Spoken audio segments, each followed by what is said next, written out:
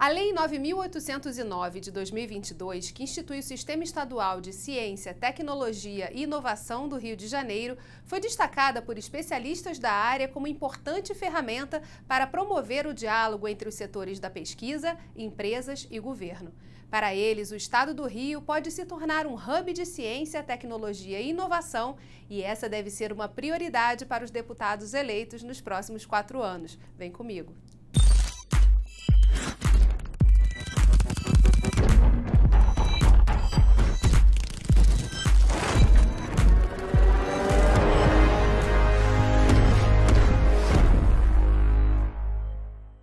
O capítulo da Agenda de Futuro de hoje traz como entrevistado o presidente da Reditec, Jorge de Paula Costa Ávila. Olá, Jorge, seja bem-vindo a essa edição da Agenda de Futuro a novidade né, recente, agora em 2022, da aprovação e sanção da lei que instituiu o Sistema Estadual de Ciência, Tecnologia e Inovação, tentando justamente compor né, esse diálogo necessário entre a ciência, a tecnologia, com as empresas na geração de novas tecnologias e inovação. Queria que você falasse um pouquinho sobre isso, né? Qual a importância desse olhar sistêmico sobre essa rede para que a gente faça de fato esse diálogo acontecer na prática? Olha, é, é, é desde a década de 90, pelo menos, né, se, se, se compreendeu que a inovação é um fenômeno coletivo. Ou seja, se você pode ser um cientista solitário pesquisando um determinado assunto, é, o que já é difícil hoje em dia, tá certo? É, é totalmente impossível que você faça uma contribuição relevante para a sociedade sozinho. Então, as instituições elas são complementares, e têm papéis complementares. E as empresas desempenham um papel fundamental. Seja, o, o, quem vai fazer o scale-up, quem vai fazer isso crescer, quem vai ser capaz de fazer com que uma invenção, uma descoberta científica, uma nova tecnologia impacte a vida de milhões de pessoas, não são as instituições de ciência e tecnologia sozinhas. Elas precisam da ajuda das empresas. E, e para que essa interação entre as instituições as entre elas mesmas, e entre elas e as empresas aconteçam, é preciso haver um ambiente regulatório límpido, estável, favorável, um ambiente de financiamento que ajude, de alguma maneira, a cobrir é, é, é, gaps que existem no sistema de financiamento no mundo inteiro. Então, as empresas são muito importantes, as empresas mobilizam muitos recursos e elas contribuem com imensa parte do financiamento da ciência e tecnologia no mundo inteiro. Né? Mas há pequenas partes, pequenas em comparação com as outras, né? que se o governo não ajudar, elas não andam.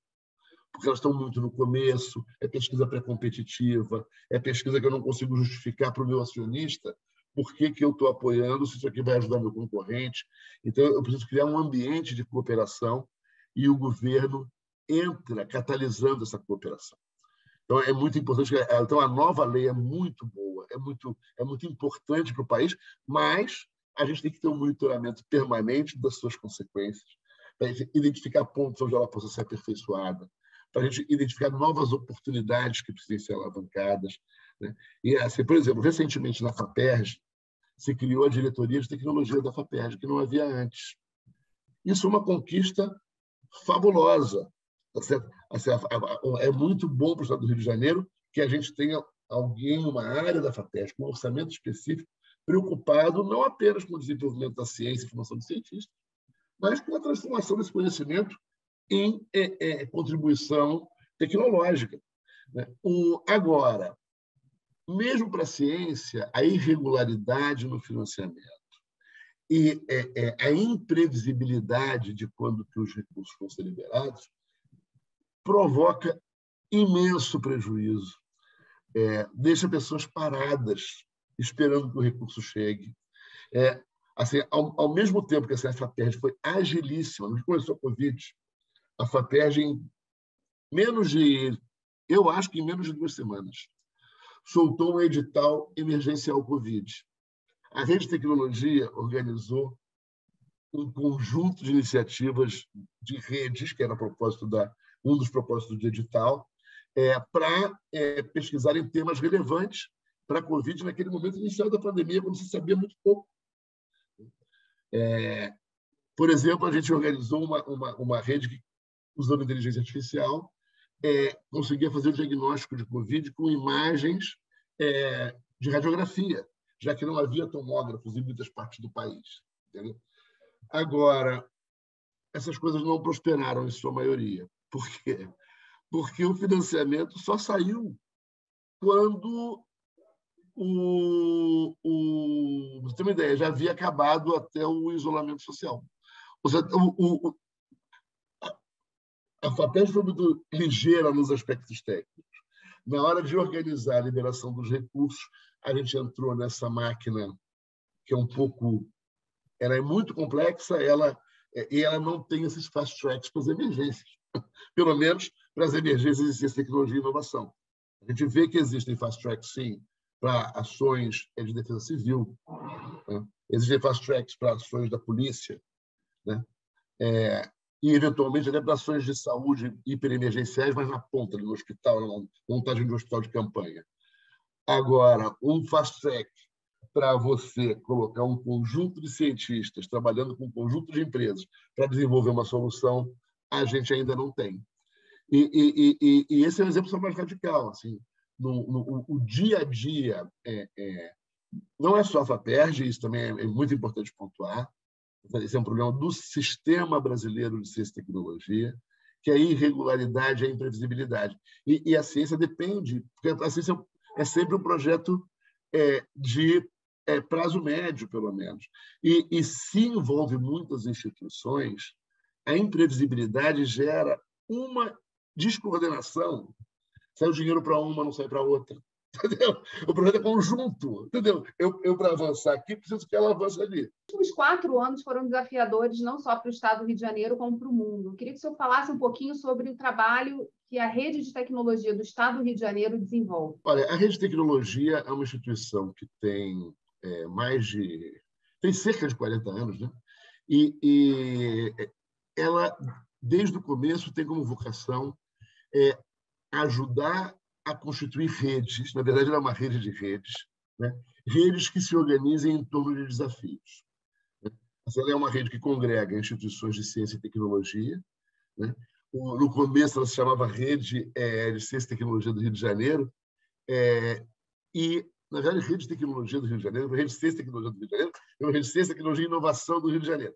O, o, e a, a, vocação da rede sempre foi inovação, na verdade, porque a, a rede surgiu para ajudar as instituições de pesquisa e as universidades a se mostrarem úteis para as empresas e para a sociedade em geral. Ou seja, para de alguma maneira ajudar nessa ponte, já que a gente teve um processo de industrialização que ele foi, de certa maneira, paralelo ao nosso desenvolvimento científico e tecnológico. Ele não teve a ligação orgânica que, que houve, por exemplo, nos Estados Unidos ou nos países mais avançados da Europa. Né? O, o, aonde a tecnologia surgiu na, né, dessa interação, né? a partir do fim do século XIX, a ciência vira o principal motor é, é, da geração de novas tecnologias, é, e isso foi orgânico com a indústria. O Brasil teve uma industrialização tardia, as empresas brasileiras se miraram nas empresas estrangeiras e pouco recorreram ao Parque Científico Nacional é, para o seu desenvolvimento. E, é, o, o, que, o que tem um preço, né? que o, o preço disso é que as tecnologias, às vezes, é como caixa preta, e você não absorve inteiramente o conhecimento. Às vezes, tec as tecnologias não são perfeitamente adaptadas para a realidade brasileira. Então, as, as instituições brasileiras de tecnologia têm um papel. Né? E a, a, gente precisa, de alguma maneira, ajudar com que essas pontes se estabeleçam. E no estado do Rio de Janeiro, em especial, a gente tem uma concentração de centros de pesquisa, de inovação, que podem servir a essa reindustrialização. Então, eu queria que o senhor falasse um pouquinho sobre esse complexo que a gente tem aqui é, e que está também a serviço de uma, de uma nova agenda de desenvolvimento. Tá, eu acho, acho isso muito importante, Gisa, porque, na verdade, a rede, a gente até às vezes pensa em tirar essa, essa restrição de ser do Rio de Janeiro. Por quê? Porque as instituições que estão na rede são instituições de alcance nacional. Então, a gente tem a Fiocruz aqui no Rio de Janeiro, a gente tem uma, por ter sido a capital, o Rio de Janeiro tem uma concentração de instituições de pesquisa criadas pelo governo federal, criadas pelo imperador, o Jardim Botânico, são, são instituições que são importantes para o país como um todo. Então, o Rio de Janeiro, embora não seja capital, ele ainda tem uma infraestrutura em alguns segmentos aonde ela é de importância nacional. Ela, ela, ela alavanca o resto do país, ela ajuda o país inteiro a se desenvolver. E o Parque Científico e Tecnológico Brasileiro, é, é do Rio de Janeiro, tem essa característica. Então, a, a, a, quando a gente pensa botar as instituições do Rio de Janeiro é, para impulsionarem, de alguma maneira, ajudarem a retomada da industrialização brasileira, nesse momento é, novo de tecnologias desafiadoras, como blockchain, cloud computing, é, é inteligência artificial, realidade virtual, o, o, o, é, é um mundo de possibilidades que se abre e o Rio de Janeiro pode virar um polo aonde essas instituições é, desempenham um papel importante para o Brasil como um todo. Então, assim, acho que a gente, quando pensa instituições, eu hoje ainda acrescentaria a palavra educação, que a educação é tão fundamental para esse país, e essas instituições, todas elas, mesmo as que não são universidades, cumprem também um papel educador. Então, é, é, eu diria que a nossa rede é hoje uma rede de educação, ciência, tecnologia e inovação. É, é eu, eu vejo uma grande possibilidade dessas vocações é, de, de, de é, exportação para outros estados e mesmo para outros países, de serviços nas áreas de educação, ciência, tecnologia e inovação, seja um dos vetores para o desenvolvimento do Rio de Janeiro. Ou seja, o Rio de Janeiro ele tem condição de fazer dessas coisas negócios em si mesmos.